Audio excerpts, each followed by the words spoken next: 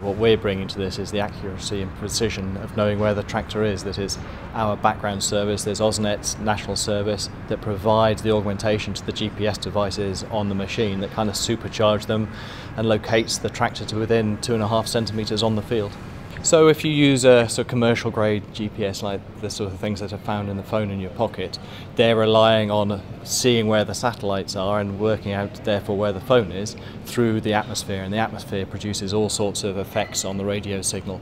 So what we do by monitoring those radio signals from these 110 base stations around the country, we can produce local corrections that updates the GPS to find that extra de degree of accuracy, that two and a half centimetres instead of five metres. So we've got a tractor now, but, but where does this kind of precision and this kind of technology take us in the future? I think this is twofold. In the sort of agricultural sector, it's moving towards more automation of the tractors so that you can work more efficiently. Maybe you have a tractor working in tandem with the manually operated one, and so you can be more efficient in the fields.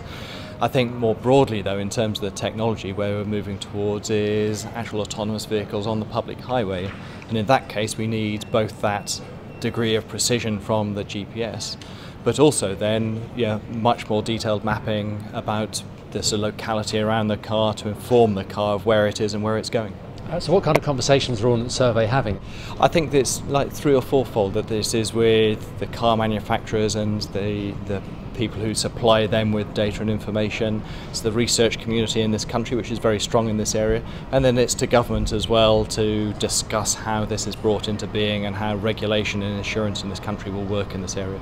I think it's threaded throughout this that you know with with the development of the vehicles itself as the national mapping agency, you know it's our precise and accurate data that we predict that these things will uh, be relying on, especially where they're using sort of GPS.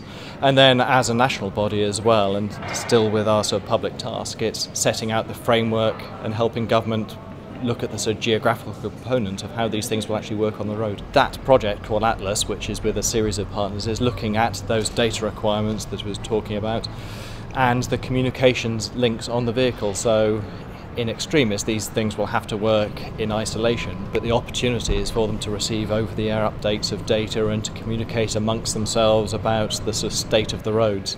So we're looking at how much data can be realistically passed over the networks of the future.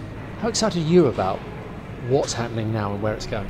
Really excited. I mean, this has a really, really interesting interplay between kind of our social fabric, governance, but also this technical infrastructure. You know, how will these cars work? What what is the intelligence that's needed within them to work out not only where they are and where they're going, but what other drivers are doing around them and how to interact with people on the roads as well.